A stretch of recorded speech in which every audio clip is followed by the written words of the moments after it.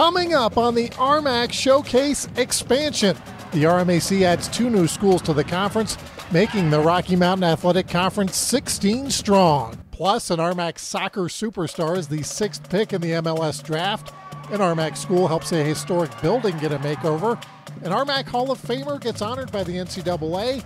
And we look ahead to the baseball, softball, and lacrosse seasons. A Metro State student athlete becomes an All American in a sport she never intended to participate in. And the outpouring of support to Colorado Christian University. That's all ahead on the RMAC Showcase. Welcome to the RMAC Showcase coming to you from the Colorado Springs Marriott Hotel. I'm Eric Danner. We start with conference membership as we have some big news in the Rocky Mountain Athletic Conference. We have two new members, including the South Dakota School of Mines and Technology, as they officially became the 15th member of the RMAC during a big press conference back on January 20th. The Hard Rockers are located in Rapid City, South Dakota, and are longtime rivals of current RMAC members Black Hills State. School President Heather Wilson said the RMAC is a natural fit for mines and opens up great opportunities to compete in a regular schedule against traditional rivals in our region. It will be a joy to host these regional opponents in our great community. South Dakota Mines participates in 13 RMAC sponsored sports.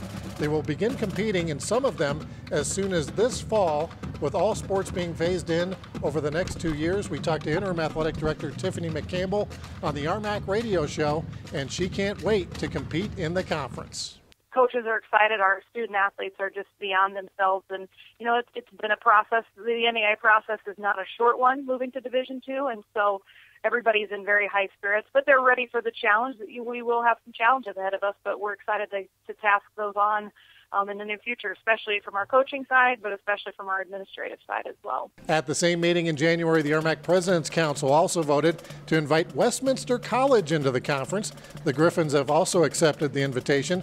Westminster is currently a member of the NAIA and have applied for membership in NCAA Division II. Once accepted, they would begin the process of joining the RMAC, which could be in the fall of 2015. Westminster College is located in Salt Lake City, Utah, and was a member of the RMAC from 1967 through 1979. We're now joined by Chris Graham, the brand new commissioner of the Rocky Mountain Athletic Conference. Chris, welcome to the conference. Welcome to the show. Nothing like uh, your first two months in, and, and you already got conference expansion under your belt. Yeah, it's a pretty exciting time, Eric. Thanks for having me. We've got uh, announcement of two new members, and we're we couldn't be happier about it. It's a great time in the RMAC. Chris, let's start off with the South Dakota School of Mines and Technology. Obviously, mines, uh, people are familiar with that term with the Colorado School of Mines in our conference uh, since 1909. Uh, uh, this is a school that, that brings a lot of things to the table, including uh, a very good educational background, too. South Dakota School of Mines and Technology is a fantastic academic institution, uh, institution of higher learning. They have outstanding credentials, a great profile. Uh, they certainly add a great deal in that respect to the RMAC, as do a lot of our members and all of our members in many ways and what they bring to the table academically. Athletically, they also have very strong programs. They have programs that will fit our footprint very well. We have a natural rivalry with Black Hills State University. They've been one of the longtime rivals in the RMAC now that they've joined and will compete in conference competition. So, in addition to the academics that you reference, there's a fantastic fit athletically that we're really excited about. And then Westminster College, you mentioned, they were in the RMAC 1967 through 1979. Salt Lake City, Utah. You got to be excited about having having that member come in as well. Well, you know, we've been across four states uh, for the time being when we had Black Hills State come in a few years ago and added South Dakota to the map, and now we're extending west a little bit and going into Salt Lake. It's a great area for us. It's a great market. It's an exciting opportunity for our student athletes to see another part of the region. Uh, we feel it's a natural fit.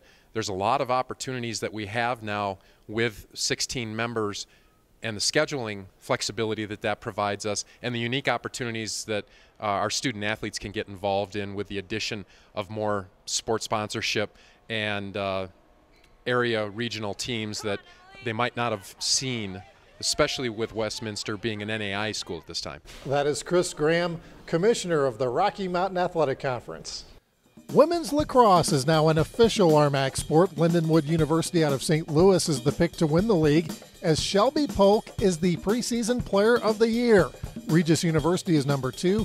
The Rangers have preseason defensive player of the year Sierra Perella and preseason midfielder of the year Danica Cutshaw. Regis is excited to have women's lacrosse now in the RMAC.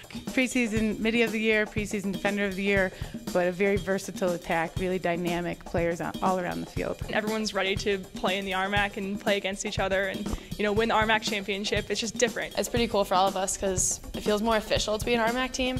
So I mean, we have our conference, so people are always like, "Oh, what is that? What does that mean?" But um, now that we're RMAC team officially, I think it's it's kind of feels like a step up for us. Ahead on the showcase. A former Division One diver becomes an All-American runner at Metro State. Coming up next, one of the most feared men in the octagon, who's also an engineer. RMAC Hall of Famer Shane Carwin, who was recently honored by the NCAA. You're watching the RMAC Showcase.